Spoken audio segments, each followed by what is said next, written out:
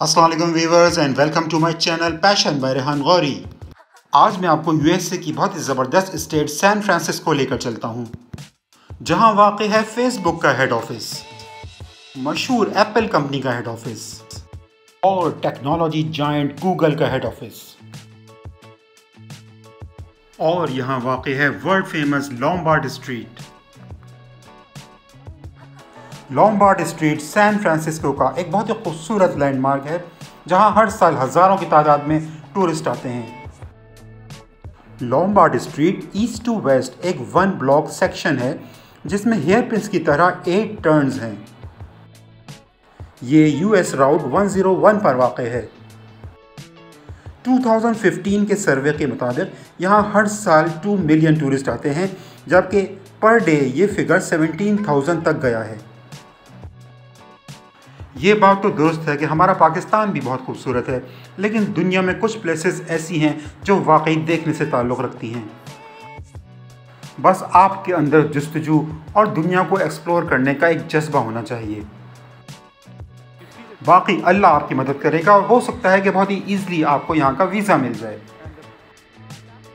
San Francisco में एक ज़बरदस्त पब्लिक ट्रांसपोर्ट सिस्टम भी मौजूद है, जिसमें light rails electric buses cable cars और मिनी ट्रेन शामिल हैं।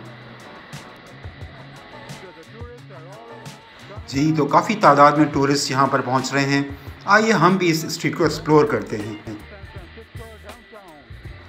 कार राइड से ज़्यादा मज़ा आपको वॉक करने में आएगा और उसके लिए यहाँ पर एक स्टेयर केस दिया हुआ है। तो चलें यहाँ से स्टेयर्स उतरते हैं और इस स्ट्रीट को देखते हुए गुजरते हैं। खूबसूरत मकानात फ्लावर्स और फिर ये रेड स्टीपी रोड ये सब कुछ बहुत ही खूबसूरत लगता है।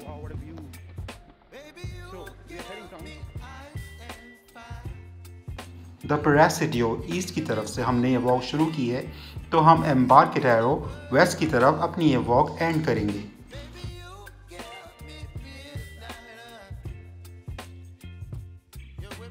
बहुत ही ज़बरदस्त मौसम है। अभी अभी हल्की बारिश हुई है और यहाँ आने वाले टूरिस्ट भी अपनी अपनी गाड़ियों से इन मनाजिर को कैप्चर करने की कोशिश कर रहे हैं। और उनके साथ साथ हमारी फ़ोटोग्राफी का भी सिलसिला भी जारी है।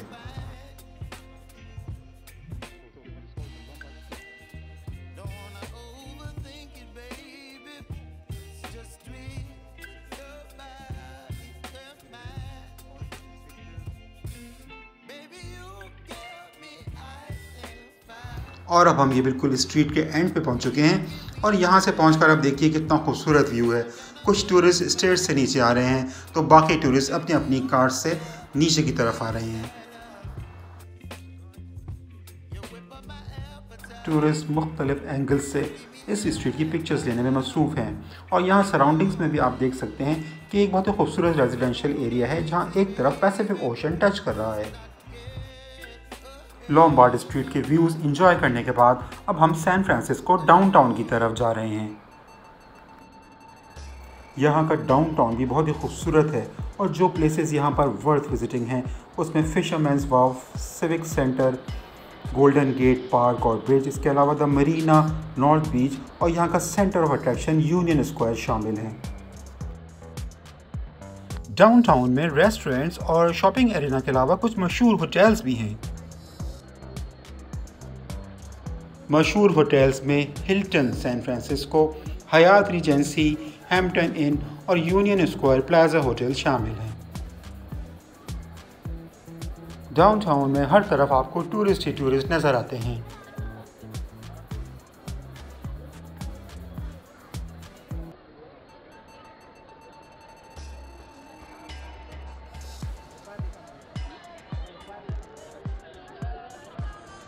सैन फ्रांसिस्को का आर्किटेक्चर भी देखने से ताल्लुक़ रखता है। जहाँ मॉडर्न बिल्डिंग्स नज़र आती हैं तो वहीं हिस्टोरिकल साइट्स भी नज़र आती हैं। और कई मकाम पर आपको विक्टोरियन स्टाइल के घर भी बने हुए नज़र आते हैं। और ये सारे टूरिस्ट जो आप देख रहे हैं, ये ना सिर्फ़ अपनी शॉपिंग कंप्लीट करेंगे, बल्कि फिर ये ऐसे मकाम की तरफ़ जाएँगे, जिन जगहों के बारे में कहा जाता है कि सैन फ्रांसिस्को की मस्ट विज़िट प्लेसेस हैं। जी तो इन प्लेसेस के बारे में भी मैं आपको थोड़ी सी गाइडलाइन प्रोवाइड करता हूँ। जी जनाब तो इसमें एक जगह तो है Alcatraz island tourist San Francisco Bay cross करके इस हिस्टोरिकल अट्रैक्शन को देखने ज़रूर जाते हैं। आर्ट लवर्स के लिए यहाँ पर है San Francisco Museum of Modern Art और एशियन आर्ट म्यूज़ियम जहाँ सत्रह हज़ार आर्ट वर्क्स और तकरीबन छः हज़ार साल पुराने एशियन आर्ट और आर्किटेक्चर के नमूने रखे गए हैं। यहाँ आने वाले टूरिस्ट की एक बड़ी तादाद चाइना से बिलोंग करती है। और वो लोग यहाँ के हिस्टोरिक चाइना टाउन को ज़रूर विज़िट करते हैं, जहाँ मार्केट्स, बेकरीज, शॉप्स और रेस्टोरेंट्स हैं। जी तो काफ़ी वॉक करने के बाद अब हम गाड़ी में बैठ चुके हैं और अब हम यूनियन स्क्वायर की तरफ़ जा रहे हैं। ये यूनियन स्क्वायर है, जो कि एक मशहूर फैशनेबल शॉपिंग एरिया है। यूएसए के तमाम मशहूर फ़ैशन ब्रांड्स के आउटलेट्स यहाँ मौजूद हैं, जिसमें नॉट स्ट्रॉम मैसीज और फिफ्थ एवेन्यू वगैरह शामिल हैं। इस पूरे स्क्वायर को सराउंड करते हैं रेस्टोरेंट्स बुटीक्स और डिपार्टमेंटल स्टोर्स इसके अलावा नियर बाय में मॉस्कॉन कन्वेंशन सेंटर भी मौजूद है, जहाँ लार्ज स्केल पर एग्जीबिशंस अरेंज की जाती हैं।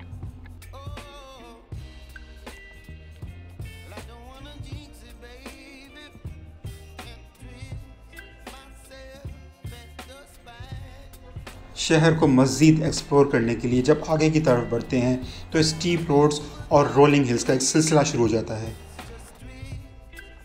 हॉलीवुड की बहुत सी एक्शन मूवीज़ की शूटिंग भी इन्हीं रोड्स पर की गई है। इनमें से कुछ मूवीज़ के नाम मैं आपको यहाँ बता देता हूँ। अपने उन व्यूवर्स के लिए जो मूवीज़ में इंटरेस्ट रखते हैं। जी तो इस लिस्ट में शामिल हैं कुछ मशहूर movies the Matrix Ant Man Venom Dirty Harry Mrs Doubtfire the Rock इसके अलावा मशहूर कॉमेडी सीरीज़ फुल हाउस के भी काफ़ी मनाजिर यहाँ पर शूट किए गए। इंडिया की मशहूर movie My Name Is Khan भी कम्प्लीटली सैन फ्रांसिस्को में शूट की गई। और Rise of the Planet of the Apes यहाँ के मशहूर जू में पिक्चराइज की गई। सैन फ्रांसिस्को की हिस्टोरिक और ख़ूबसूरत केबल कार्स न सिर्फ़ ट्रांसपोर्टेशन का एक ज़रिया हैं, बल्कि एंटरटेनमेंट भी प्रोवाइड करती हैं। इन केबल कार्स और इलेक्ट्रिक बसेस के थ्रू आप शहर की तमाम अट्रैक्शंस और लैंडमार्क्स को विज़िट कर सकते हैं। और ये लीजिए, अब हम सैन फ्रांसिस्को के मशहूर एरिया फिशरमैन्स वाफ पहुँच चुके हैं। फिशरमैन्स वाफ एक बहुत ही लाइवली और हिस्टोरिक मार्केट प्लेस है। यहाँ मुख्तलिफ़ स्ट्रीट परफॉर्मर्स विजिटर्स के लिए मुख्तलिफ़ एक्टिविटीज़ भी कर रहे होते हैं। सैन फ्रांसिस्को के इस कोस्टल एरिया से आप बहुत ही यूनिक शॉपिंग भी कर सकते हैं। यहाँ पर बहुत सी सी फ़ूड रेस्टोरेंट्स भी हैं। इसके अलावा काफ़ी तादाद में सोविनियर शॉप्स भी हैं, जहाँ से आप अपनी मेमोरीज रिटेन करने के लिए सोविनियर्स भी परचेज कर सकते हैं। सैन फ्रांसिस्को कैलिफ़ोर्निया का फाइनेंशियल और कमर्शियल हब है। ये शहर सिलिकॉन वैली के नाम से भी मशहूर है। सैन फ्रांसिस्को का एक पॉपुलर एंटरटेनमेंट एरिया मेथिरॉन के नाम से मशहूर है, जो कि एक टेक्नोलॉजी मार्केट प्लेस भी है। इन खूबसूरत रेस्टोरेंट्स की बैक साइड पे सैन फ्रांसिस्को का बे एरिया है। और मैं यहाँ से खूबसूरत समंदर क्रूसेस शिप्स और पियर का नज़ारा कर रहा हूँ।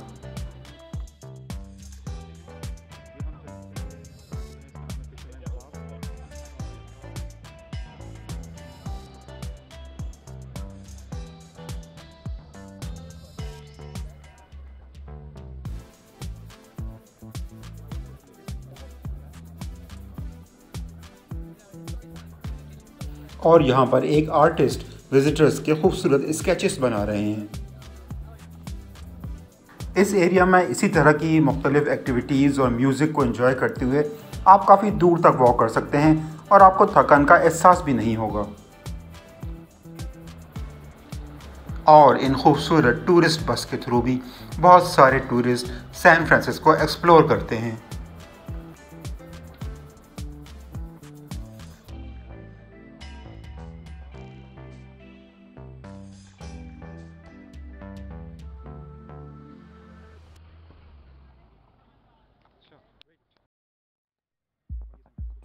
हम वॉक करते हुए एक और बहुत ही खूबसूरत जगह पहुँच चुके हैं, जहाँ ग्रीनरी है और पैसिफिक ओशन का भी दिल फरेब नज़ारा है। ये जगह घिराए डेली स्क्वायर के नाम से मशहूर है। ये हिस्टोरिक चॉकलेट कंपनी 1852 में कायम हुई थी और इसकी चॉकलेट्स और आइसक्रीम बहुत ही टेस्टी होती हैं।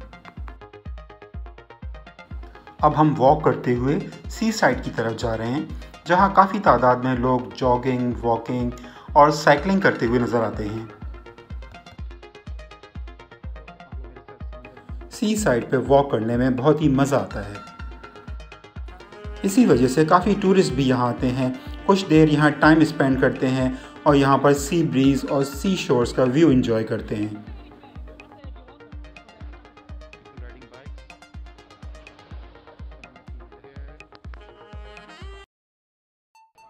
जी तो अब शाम ढल चुकी है और अब हमारा प्रोग्राम है कि हम घिरा डेली चॉकलेट और आइसक्रीम टेस्ट करेंगे। कैलिफ़ोर्निया में घिरा डेली चॉकलेट्स एक्चुअली एक इटालियन डोमिनिको डेली ने शुरू की, जो बाद में उन्हीं के नाम, यानी डेली चॉकलेट्स के नाम से मशहूर हुई। ये एक बहुत ही बड़ा चॉकलेट स्टोर है, जहाँ पर मुख्तलिफ़ साइज़ शेप्स और फ्लेवर्स में चॉकलेट्स और आइसक्रीम्स अवेलेबल हैं।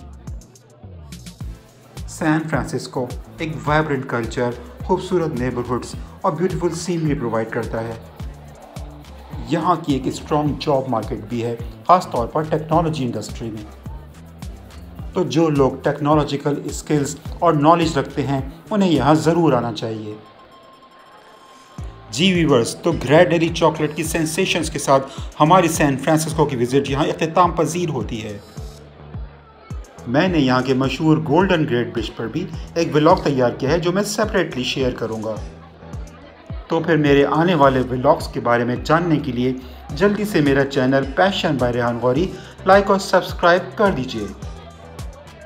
और आखिर में एक गुजारिश आपसे ये करना चाहूँगा कि जब आप अपना मंथली बजट बनाते हैं तो ट्रैवलिंग के लिए भी कुछ ना कुछ अमाउंट ज़रूर स्पेयर कीजिए। क्योंकि जहाँ फ़ूड हमारी फ़िज़िकल हेल्थ के लिए ज़रूरी है तो वहाँ ट्रैवलिंग हमारी मेंटल हेल्थ और फ्रेशनेस के लिए बहुत ही ज़रूरी है। अपना बहुत ख्याल रखिएगा। अल्लाह ने के बान